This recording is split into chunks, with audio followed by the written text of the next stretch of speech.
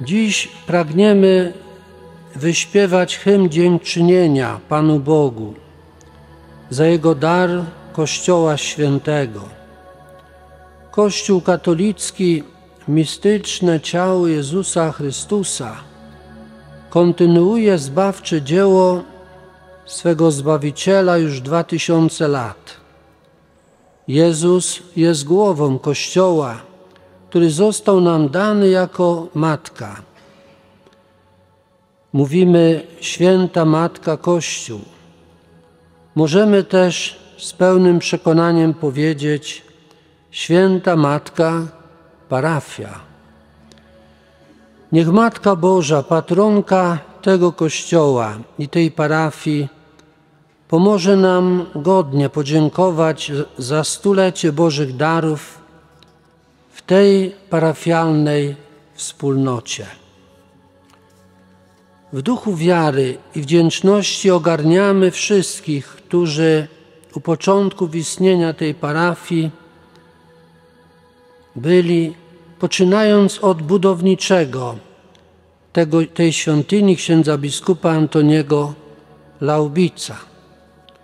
Wspominamy z wdzięcznością wszystkich proboszczów, błogosławionego księdza Stanisława Kupskiego, księdza Grzegorza Handkę, księdza Romana Ziętarskiego, księdza Wojciecha Dzierżgowskiego, poprzedników obecnego proboszcza księdza Leszka Kaczmarka. Myślimy z wdzięcznością o wielkiej rzeszy wikariuszy tej parafii, a także o kapłanach, którzy duszpastersko byli związani z tą parafią, jak na przykład długoletni prefekt młodzieży ksiądz Dezydery Wrublewski. Jak bardzo trzeba dziękować Panu Bogu za obecność sióstr dominikanek w tej parafii, które już w ubiegłym roku świętowały stulecie pobytu na kujawskiej ziemi.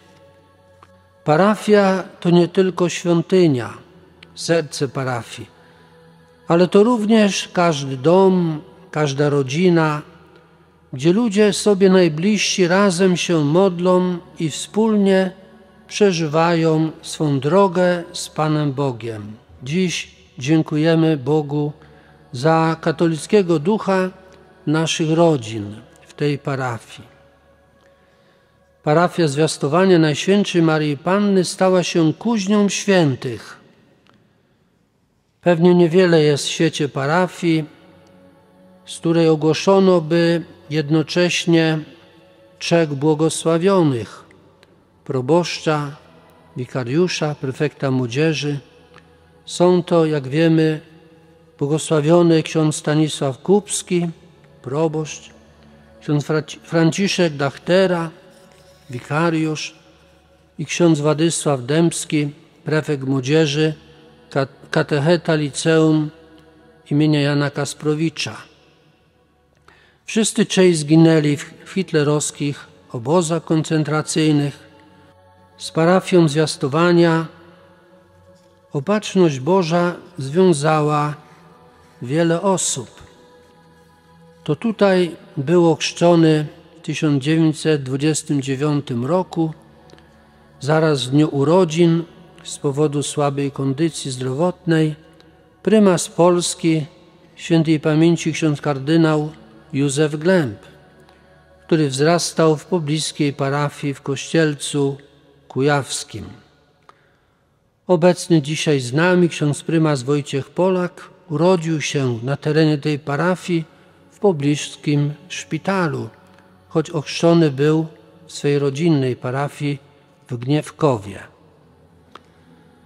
W panoramie uchodzącego już w historię pierwszego stulecia tej parafii chcemy zobaczyć i podziękować Panu Bogu za wszystkich ochrzczonych i bierzmowanych, za nasze dzieci, które tutaj przyjmowały pierwszą komunię świętą, za wszystkie spowiedzi, których świadkami są konfesjonały tej świątyni, za sakrament chorych przyjmowany w kościele, ale jeszcze częściej w naszych domach, za powołania kapłańskie i zakonne, męskie i żeńskie.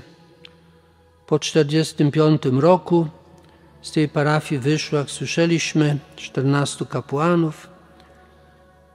Za wszystkie małżeństwa sakramentalne tutaj zawarte. Deo gratia, z Bogu niech będą dzięki. Drodzy bracia i siostry, świątynia zwiastowania Najświętszej Maryi Panny swą monumentalną konstrukcją widoczna jest z daleka, z każdego kierunku, odkąd byśmy nie podjeżdżali do stolicy Kujaw Zachodnich. Jawi się nam jak okręt, statek, symbol Kościoła, który pośród wichrów i burz płynie poprzez historię, płynie ku Panu Bogu, ku zbawieniu, ku wieczności. Dramatyczne były losy tej świątyni i parafii. Budowa trwała bardzo krótko, około trzech lat i zakończyła się w 1901 roku, a w 1909, jak słyszeliśmy, jedna ze ścian, ściana północna, zapada się pod ziemię. Było to Wielki Piątek 1909 roku. Jeszcze do oficjalnej rejestracji parafii. 20 lat Kościół był nieczynny. Na szczęście nie było ofiar w ludziach.